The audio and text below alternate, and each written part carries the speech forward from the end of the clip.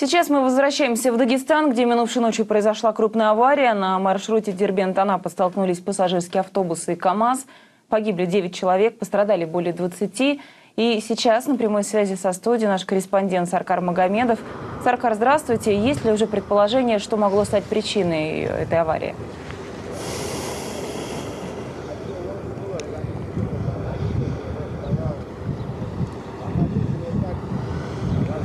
Да, здравствуйте, Вера. Ну, предположение, конечно, есть, это изначально было понятно. Есть факт. Пассажирский автобус столкнулся с прицепом от КАМАЗа.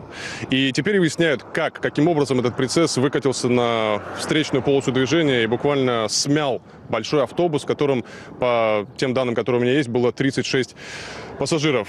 Предварительно сообщается о том, что прицеп а, сорвался, то есть сломался фаркоп. Это вот это место, где, ну, место стыка прицепа и КАМАЗа.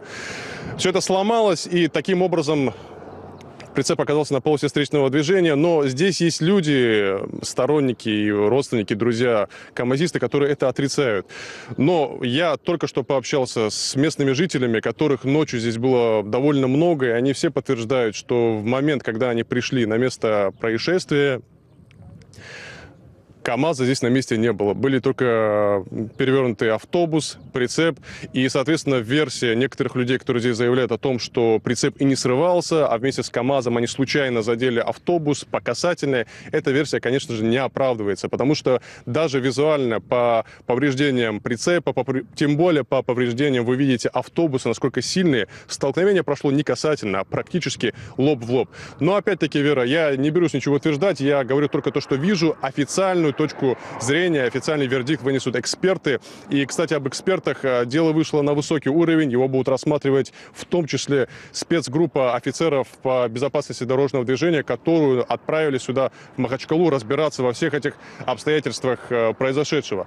В данный момент э, все, что произошло, пытаются узнать у водителя КАМАЗа. К нему очень много вопросов, но, в принципе, это единственный человек, который знает, как на самом деле все произошло, потому что а, оба водителя автобуса умерли на месте, возможно, даже мгновенно. Это была жуткая авария, удар прицепа пришелся именно по месту, где сидят а, оба водителя, и э, фрагменты тела опознавали буквально, тело опознавали буквально по фрагментам. Э, Все это сейчас находится в Кизляре, в морге, там, где тела и будут выдавать родственникам погибших. Я знаю, что это стараются сделать как можно быстрее, чтобы уже родственники смогли спокойно похоронить э, погибших людей.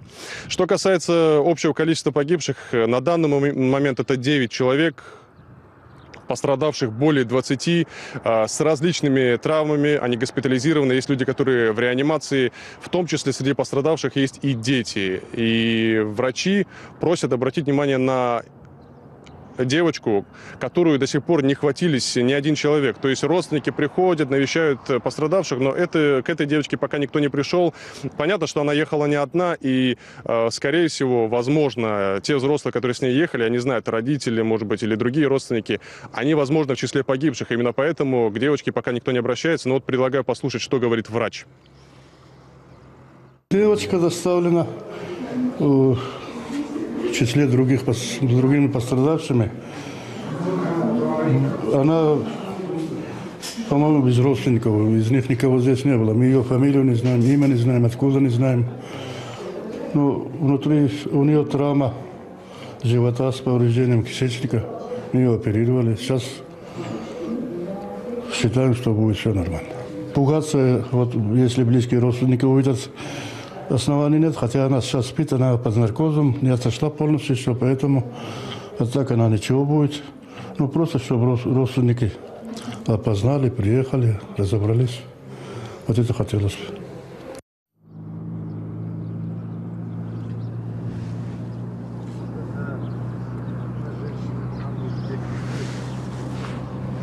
Вера, и в продолжение пострадавших хочу отметить, что если все шло по плану, к сожалению, в данный момент я не могу это уточнить, но, насколько я знаю, вертолет должен был прилететь к Тарумовской районной больнице, и оттуда, после консилиума врачей, должны были решить, скольких и кого именно из пострадавших переводить, транспортировать в Махачкалу для оказания более глубокой квалифицированной помощи. Но в любом случае в местной больнице сказали, что средств хватает, и людских ресурсов хватает.